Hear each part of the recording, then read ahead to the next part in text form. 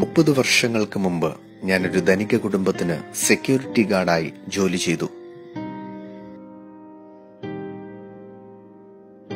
അവിടെ വളരെ വ്യത്യസ്തമായ ഒരു കാര്യം സംഭവിക്കുമായിരുന്നു.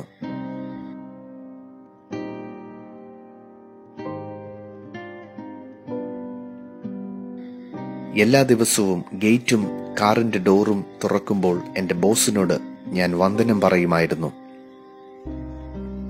പക്ഷെ ഒരിക്കൽ പോലും അദ്ദേഹം തിരിച്ച് ഒന്നും പ്രതികരിച്ചിരുന്നില്ല.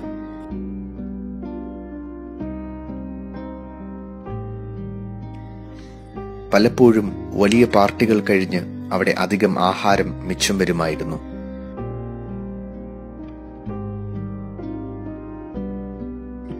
എന്റെ കുടുംബം വളരെ ദാരിദ്ര്യത്തിലായിരുന്നതുകൊണ്ട് മിച്ചം വരുന്നത് ഞാൻ എന്റെ ഭവനത്തിലേക്ക് ശേഖരിക്കുമായിരുന്നു.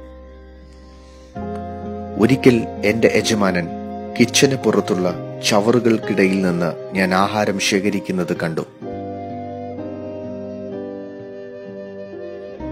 പതിവ് പോലെ അദ്ദേഹം ഒന്നും പ്രതികരിച്ചില്ല. പക്ഷെ ചവറുകൾക്ക് സമീപമായി ഒരു നല്ല സഞ്ചിക്കുള്ളിൽ പുതിയ ആഹാര സാധനങ്ങൾ ഇരിക്കുന്നത് ഞാൻ കണ്ടു. അധികം ചിന്തിക്കാതെ സന്തോഷത്തോടെ ഞാൻ എന്റെ ഭവനത്തിലേക്ക് അത് കൊണ്ടുപോയി.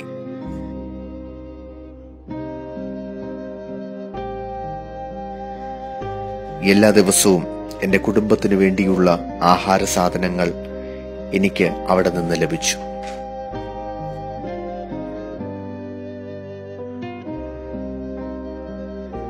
ഒരിക്കലെല്ലാം തകിടം മറിഞ്ഞു. എന്നെ ഞെട്ടിച്ചുകൊണ്ട് എന്റെ യജമാനൻ പെട്ടെന്ന് മരണപ്പെട്ടു.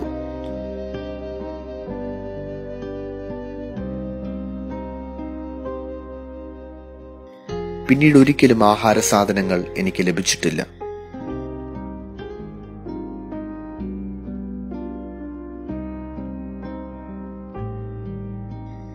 എന്റെ കുടുംബത്തിന്റെ ദാരിദ്ര്യം നിമിത്തം വീണ്ടും ഞാൻ അധികം വിഷമത്തിലായി.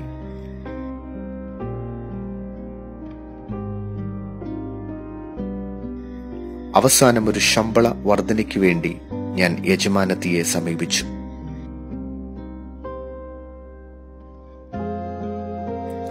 അവർ ഇതിൽ ആശ്ചര്യപ്പെടുകയും എന്തുകൊണ്ട് മുൻപൊന്നും ചോദിക്കുകയും ചെയ്തില്ല എന്ന് ചോദിച്ചു.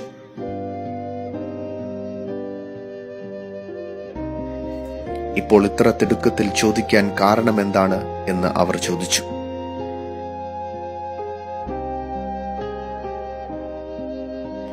പല കാരണങ്ങൾ പറഞ്ഞു എങ്കിലും അവസാനം യജമാനൻ എനിക്ക് ചെയ്തിരുന്നത് ഞാൻ പറഞ്ഞു.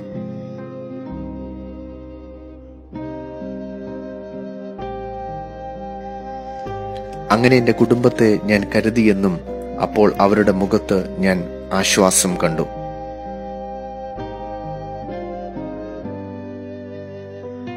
അപ്പോൾ എന്റെ ഭർത്താവിന്റെ മരണശേഷം അത് അവസാനിച്ചു അല്ലേ എന്ന് അവർ ചോദിച്ചു.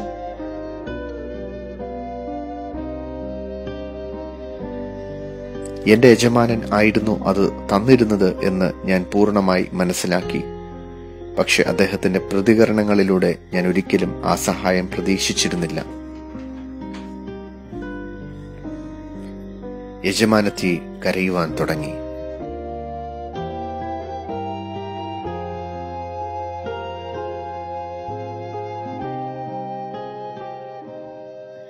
അവർ പറഞ്ഞു ഇതുപോലെ ആഹാരം ലഭിക്കുന്ന ഏഴാമത്തെ വ്യക്തിയാണ് താങ്കൾ.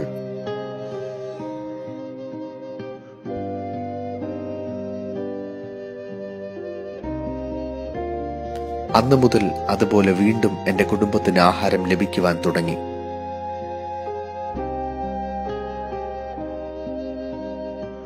പക്ഷെ ഇപ്പോൾ അദ്ദേഹത്തിന്റെ മകൻ ആണ് എന്റെ ഭവനത്തിലേക്ക് നേരിട്ട് ആഹാരം നൽകുവാൻ തുടങ്ങിയത്.